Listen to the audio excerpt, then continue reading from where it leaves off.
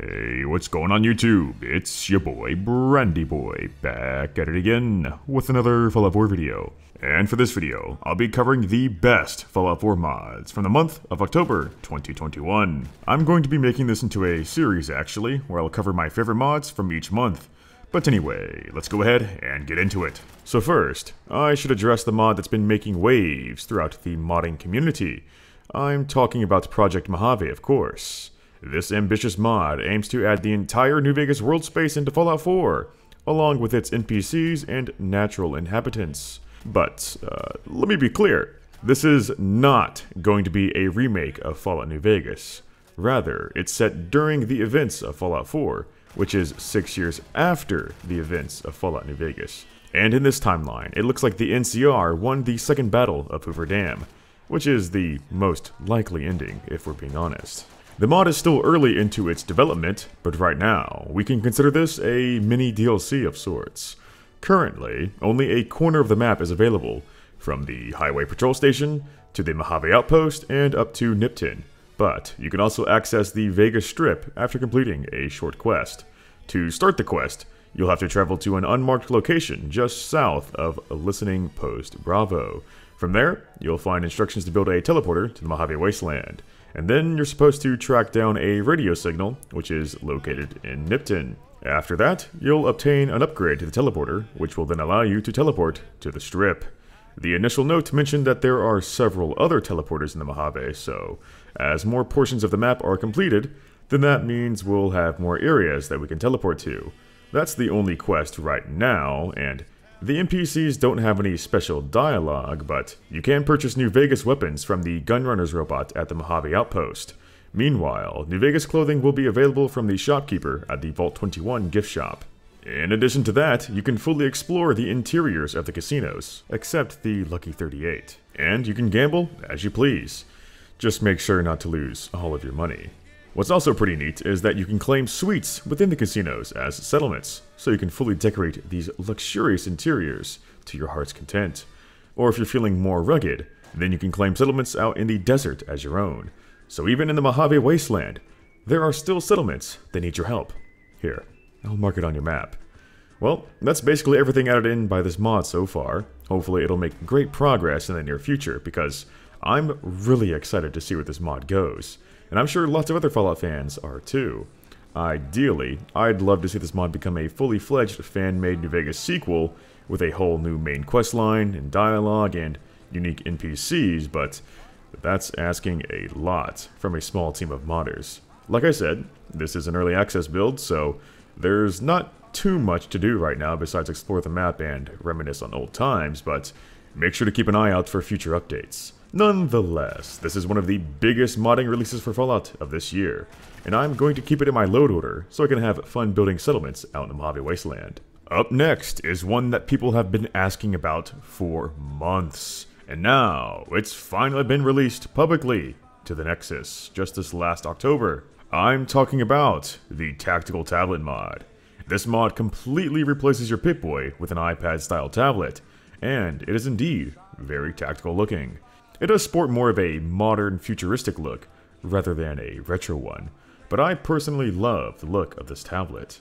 In addition to looking slick, it'll also free up your left arm so you can show off your full outfit. And there's no longer a holotape animation, so it'll speed up that process too. I would say this mod isn't quite lore friendly, but it sure is logic friendly, because a tablet would be more convenient to use. The Pip-Boy is cool, sure, but it does get in the way, and I wouldn't want to be lugging around that big hunk of junk on my arm constantly.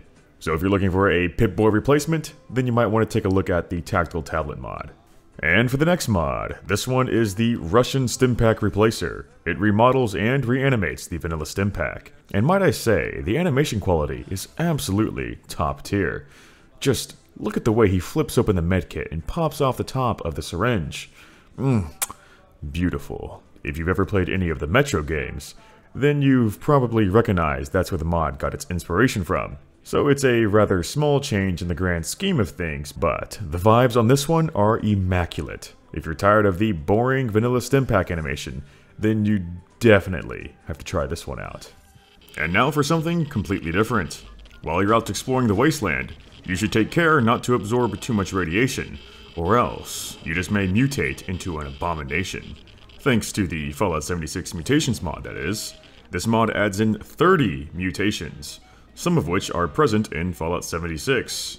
These mutations provide useful buffs and bonuses, so they can enhance your effectiveness in combat, but at the same time, you'll also suffer from side effects. To get a mutation, you'll have to subject yourself to high amounts of radiation, and provided you survive, you have a strong chance of acquiring some altered genes.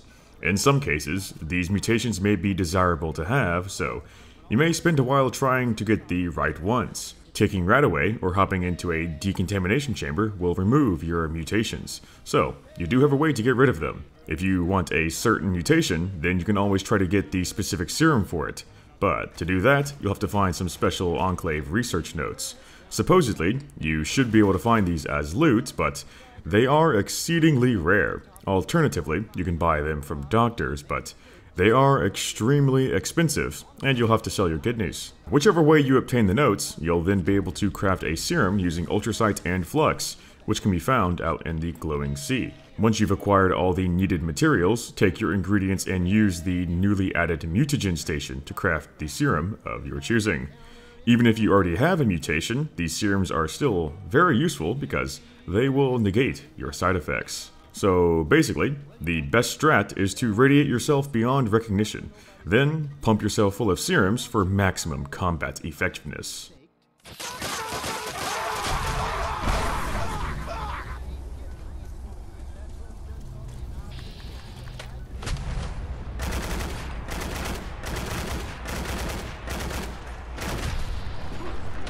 Well, uh, that should have gone better, but you get what I mean. These mutations provide some much needed spice to your gameplay, and I would recommend everyone to try out this mod. It's nothing but a bunch of fun. Moving on to weapons now. The first one up is the M1918 Browning Automatic Rifle. This classic American firearm was produced in 1918 and saw use mostly at the end of World War I and during World War II, but it also made an appearance in the Fallout New Vegas Dead Money DLC, so, it is for sure lore friendly. By default, the mod utilizes 308 ammunition, but I've converted it to use the proper 30-06 Springfield, which is from the Caliber Complex mod. If you're interested in that one, then you should check out my video on it. But anyway, back to the BAR here. It sports some awesome custom animations and sounds, and it's also compatible with the Tactical Reload framework.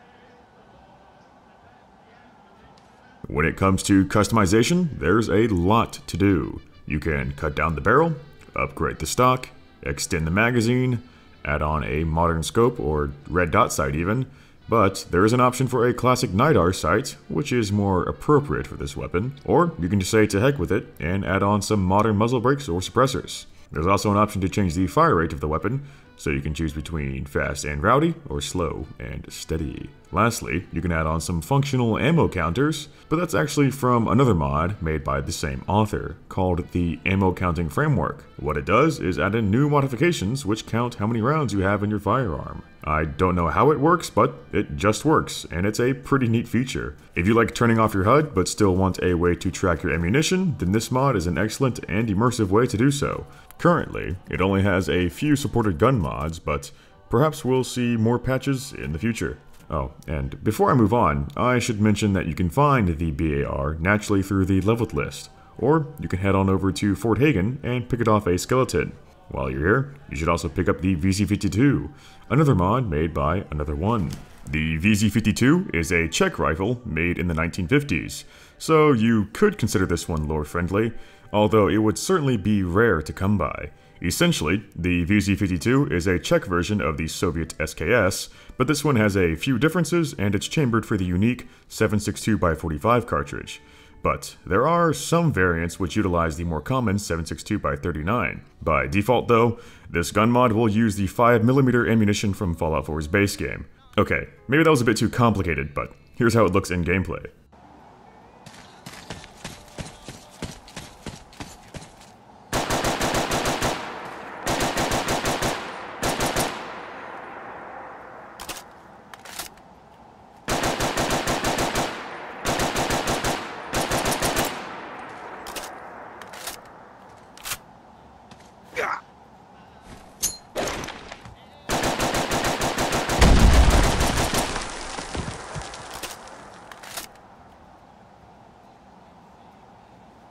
Bringing it to the workbench will allow you to craft a whole bunch of upgrades.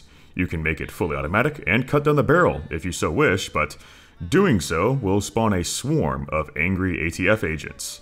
There's also options to upgrade the stock, extend the magazine, or slap on some sights, muzzle attachments, a bayonet even, and also an ammo counter, just like the BAR. And now, we have successfully made a very cursed VZ52.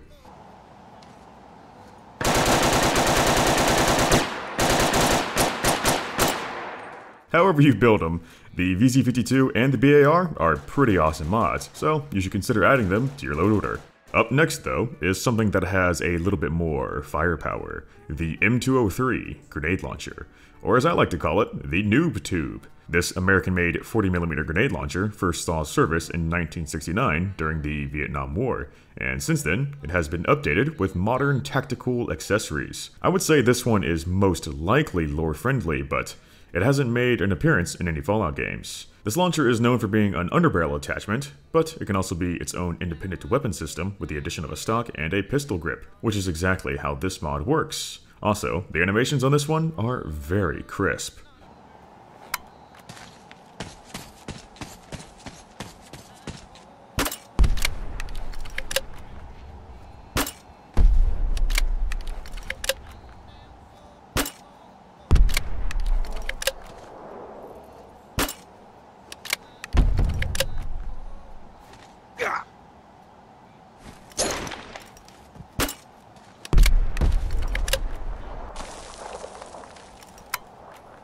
There's actually a fair amount of attachments for this launcher. You can upgrade the receiver, which magically increases your damage, and you can also change up the stock, grip, and paint job, but that's all purely cosmetic. If you don't like the default sights, then you can always opt to add on some modern optics. Perhaps the most important category, though, is the ammunition type. Here is where you can change the functionality of your grenades. As you can see, there's tons of different options. Some are even non-lethal or purely for utility, but I found that the high-velocity explosive is the best for general combat. Changing the ammo type won't actually force you to find different types of ammo, it all works with the same 40mm grenades. You can find the M203 and its ammunition through the leveled list, or you can always craft everything at the chem station. In addition to the regular variant, there's two unique ones you can find. The St. Attila is a solid gold M203, which you can find at the Museum of Freedom, locked up in a display case. But, shockingly enough, this one is purely for display, so it spits out duds. Basically, it's just a joke, so please don't use this one to take out Deathclaws. The Lhomme Replique, though, is an actual lethal weapon that shoots railroad spikes, and you can find it waiting for you in the Railroad HQ. So overall, this is a wonderful grenade launcher mod, and it certainly is one of the best mods of its kind. So, you might as well give this one a download. I'm sure you'll have a blast with it. Moving on to armor now. This is the Hellcat Power Armor.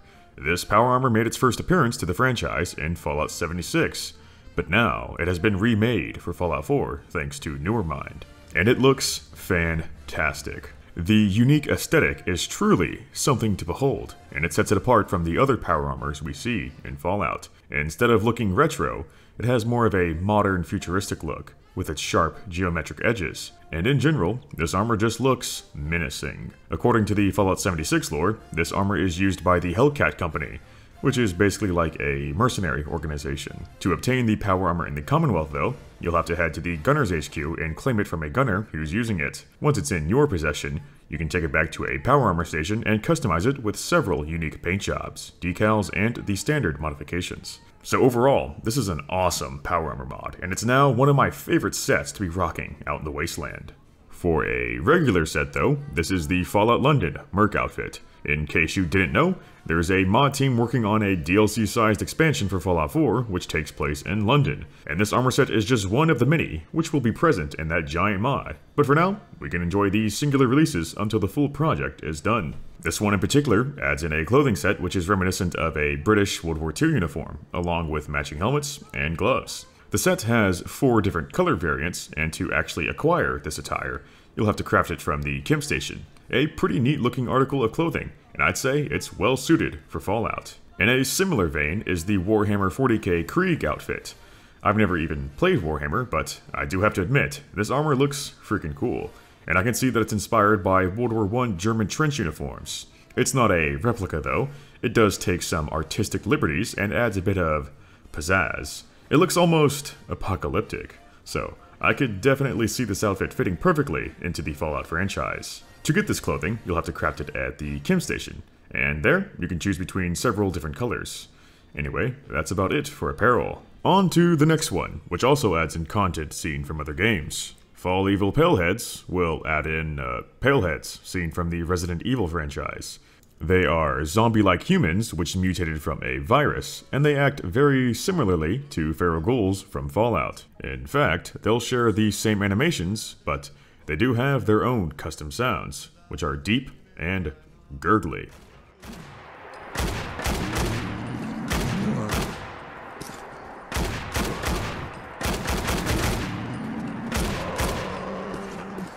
They're definitely some creepy fellows, that's for sure, and I could see these gangrenous creatures belonging in Fallout. The Paleheads will spawn alongside ghouls, so if you're looking for some more visual variety amongst the hordes, then this mod makes for a great addition. For another unique creature mod, or I should say robot mod, is Ice Storm's combat drones. This will add in a new enemy type to the Commonwealth. Self-flying drones, which are equipped with either miniguns or laser beams. They can fly pretty dang high, so make sure to keep an eye to the sky as you're adventuring. Or you can just outmaneuver them with a jetpack. Pro moves right there. You'll find out that some of the factions in Fallout have commandeered these drones for their own use, such as the Gunners, the Institute, and the Brotherhood. But you can make your own as well. When you destroy a drone, make sure to pick up their parts, so you can use them to craft your very own at any Chem station. You will need the Robotics Expert perk though, so get that first. Once you have one crafted, activate it from your inventory and it'll be placed on the ground. Use your hack ability and then command the drone. It'll then fly up in the air and follow you around. It makes for a great combat partner and scout because it'll mark enemies and then shred them up with their guns. You can have several drones at once, but don't take too many, or else they may start to bug out. If they are destroyed, then you'll have to craft new ones. But that's okay, because these drones are not sentient and don't have feelings, so they are perfectly disposable. Anyway, this is actually quite a unique and, dare I say, revolutionary mod. I've never seen anything quite like it. A flying companion is surely a first, so, if you're intrigued as I am, then head on over to Ice Storm's Patreon to download it. Don't worry, it is a free download. The mod author decided to host it through their own platform due to the Nexus mod pack controversy. And if you ever get bored and don't have anything to do, then the Simple Bounties mod is surely for you. It adds in a new NPC to Goodneighbor who will contract you with bounties. They can range anywhere between Deathclaws, ghouls, and gunners. The contracts can send you almost anywhere in the Commonwealth, and you can use the bounties to accumulate wealth. The missions can be pretty fun, but they aren't anything super special, really. Consider them as another type of Radiant quest you can do if you want to get more caps, simply explore, or just roleplay as a hired gun. And while you're at it, you might as well install the Popping Heads mod. It's another simple one. All it does is increase the distance that head fragments fly when an enemy is shot in the face.